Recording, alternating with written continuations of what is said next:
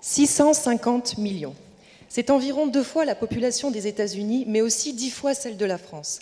C'est aussi aujourd'hui le nombre de personnes appartenant à la nouvelle classe moyenne émergente en Chine, en Inde et au Brésil. Autrement dit, ce sont toutes ces personnes qui aujourd'hui, depuis une dizaine d'années, gagnent plus d'argent et donc peuvent consommer, comme vous et moi, des biens et des services. Ces entreprises, nos grandes entreprises, euh, cela l'ont bien compris, c'est le nouveau marché à conquérir.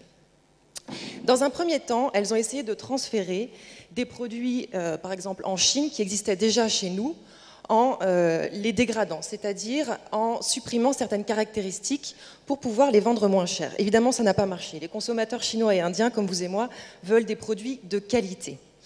Donc, euh, ce qui s'est passé à ce moment-là, eh bien, c'est que ces entreprises ont compris qu'il fallait innover spécifiquement pour ces marchés et ont délocalisé une partie de leur recherche et développement.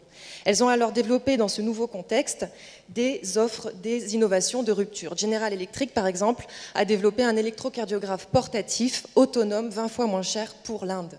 Renault a développé la Logan pour la Roumanie, la voiture à moins de 6 000 euros. Dans un deuxième temps, que s'est-il passé? Eh bien, ces innovations ont été ramenées dans les marchés développés, donc chez nous. C'est ce qu'on appelle l'innovation inverse. Une innovation est dite inverse si elle est d'abord adoptée dans un marché émergent avant d'être ensuite ramenée dans un marché développé. L'électrocardiographe de General Electric, aujourd'hui, équipe la majorité de nos ambulances. Le but de ma thèse a donc été d'améliorer notre compréhension de ce nouveau phénomène, de euh, ce nouveau concept qui est né à l'université de Harvard en 2009, tant sur le plan théorique que pratique. Parce que quand on donne des exemples d'innovation inverse comme ça à succès, on a l'impression que le transfert est facile et automatique entre les marchés. Or, ça n'est pas le cas, loin de là.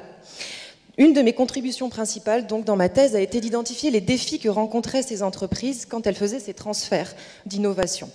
Grâce à mes travaux euh, chez L'Oréal et Essilor notamment, j'ai pu donc identifier ces défis. On parle par exemple de résistance à l'interne de l'entreprise. On va résister à un produit qui a été développé pour la Chine, on ne veut pas le ramener en France. Cannibalisation, sensibilité du client, etc. Et donc, euh, j'ai pu développer un certain nombre de solutions aussi pour, euh, pour surmonter ces défis et euh, également, bien sûr, euh, remettre en question tout le modèle euh, organisationnel de la multinationale aujourd'hui. Voilà.